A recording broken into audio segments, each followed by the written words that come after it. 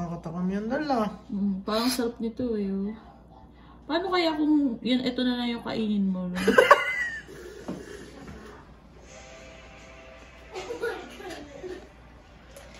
Ano ba yan? ang pogi mo ah.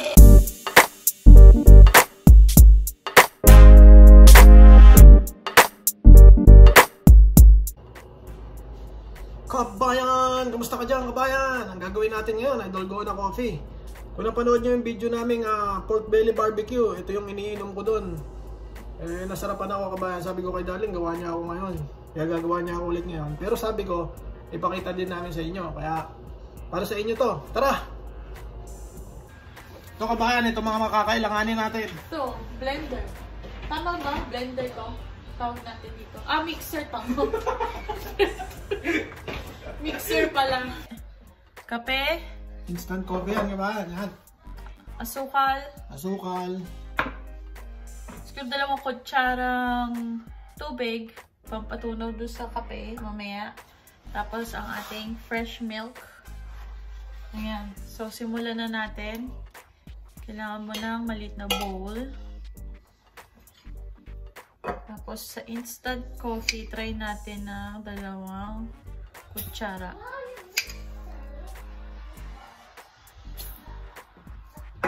Tapos, asukal natin. Gawin natin kaya tatlo. Kasi mapait yan, di ba? Ah.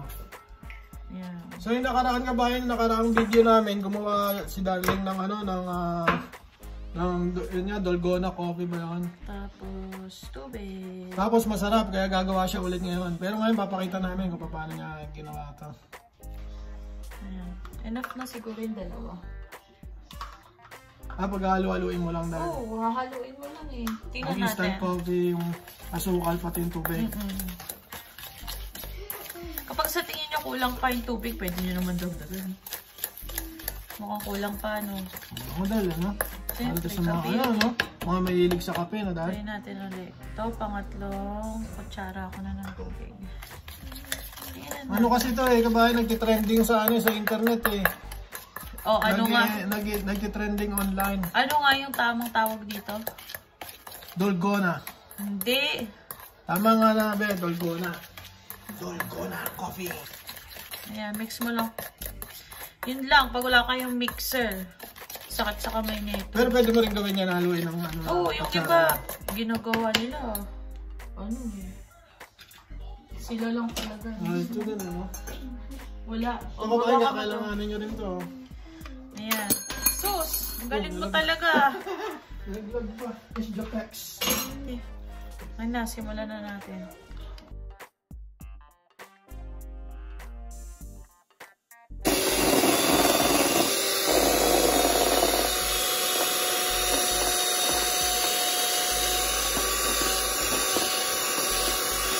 Oh.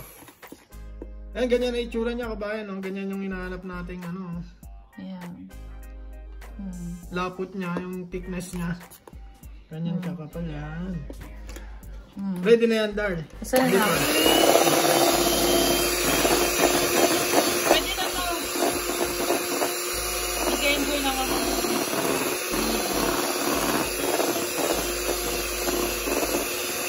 Pa daw?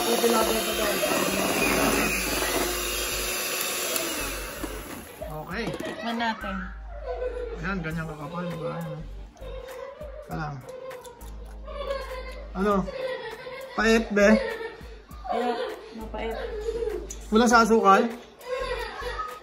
Mapait na matamis. Ganun talaga yung lasa niya eh. Pero kapag nahalo na siya sa ano, sa sa fresh milk, masarap eh. Mm Para to sa mga ano, coffee lover na ayaw ng matamis. Okay na to. Okay na yan, ready na yan. Mm Tara, kunin na natin yung ano, yung gatas. Pati yung ano. -mm. Ayan. Ito na yung ginawa natin sa coffee, sa kape na may sugar, na may tubig. Ayan na siya. So, tingnan mo, hindi siya mahuhulog. Ah, talagang thick siya. Ano? Ah, so, kay- kailangan natin ng baso, ah, yellow, make sure na malinis ang kamay nyo. Ay, Tayo naman ng yellow dyan. Nasa sa inyo kung gaano kadaming yellow gusto nyo. Gusto nyo ng malamig. Na malamig. Okay na yan, Dad. Sakto na yan, Dal. Saka na. Okay, yung ano? na yung Fresh milk natin. fresh milk. Kaboom! Okay na yan? Sakto-sakto na ba yan, Dal? Piling ko. Tasa natin. Yan, okay na. Yan. Tapos, kunin nyo na itong ginawa natin. Ngayon na. So, nalagyan nyo na yung gatas. Nilagyan nyo na sa tuktok yung coffee na ginawa natin. Ayan, nakikita nyo ba yan? So Yan, sarap thick. yan. Pang Starbucks yan, ah. Mm, tinalo ng tar- Starbucks nito. Starbucks. Starbucks. Oh, lala! Mm. Focus mo dahil focus. Ayan. Paano mas okay yung ginawa natin yun kaysa doon nagluluto tayo? Kaya nga, ano? Oo, Para mas maganda ngayon, no? nakakatakam yan, Dal, ah. Mm, parang sarap nito eh. oh. Paano kaya kung yun, ito na lang yung kainin mo? No? Hindi na ako kakain ng hapunan. Hindi. Ang ibig ko sabihin, huwag mo na lagyan ng gatas. Ah, Diretso ah na. papapakin mo na lang, Dal. Pang hyper move Ayan na. yan. Nilalagyan na ng design ni Darling. Nalagyan mo pa ng design yan, Dal. Chill ka lang. O, di ba yan yung gusto mo, maapaw? Wow! Dulgona! I think that's fine. Okay na yan. Yan, Dal, ah. Tapos,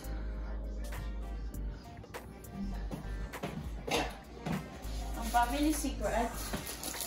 Family secret daw to kabayan. Ibubunyag niya na ang family secret. Ang family secret. Ano yan, Dal? Pampaarte. Pakita mo naman dito, Dal, sa mga ano natin. Oh, pam- kaibigan natin. Mga Pamparte. kabayan natin. Ah, Lagyan white chocolate. ng white chocolate on top. Smooth yan, Dal, ah.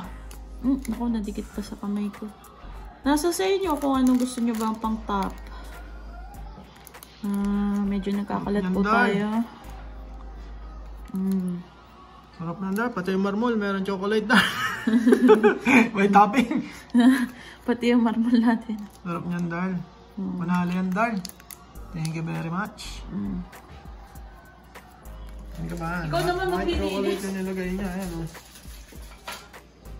Ibang klase. Oh, kung may Ibang maganda kayo. Dal. Straw. Oh, ayun. There you go. Wow. Enjoy. Ay, ganun lang kadali yun, Dal. Tag- Dal, ganun lang kadali yun. Dad! Oo. Yan na. Pakita mo rin yung ano. Yari na naman, kabayan, oh. Simpleng-simple lang, oh. Yan Kaboom! Ano kabayan, tikman natin yung gawa ni Mrs. na Dolgona Coffee.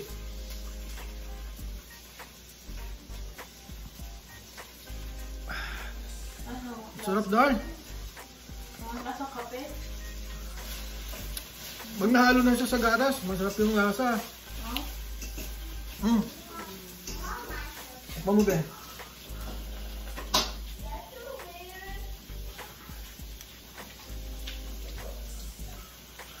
Masarap. Kaya pala nagtitrending to kabayan. Talagang masarap. Talaga ba? Mm. Okay. Gusto ko na yung my God, ang sarap. Gusto nyo kabayan eh. Sarap, no? Alam mo yung mapait, tapos pag tumagal, mat matamis. Oo. Sarap. Masarap. Love it. Kabayan, subukan nyo to. Dolgona. Trending online to. Trending online, kabayan. Kaya namin ginawa. Yep. Pretty much. Kaya naman talaga natin ginawa yun kasi na-curious tayo, di ba? Oo. Kung paano, ay bakit ang daming naluloko dyan. O, tinita ko siya na.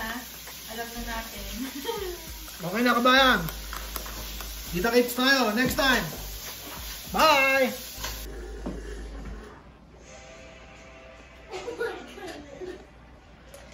Oh, ano ba Day, yan? ang pogi mo ah. Teka, may dumi ka, Dag.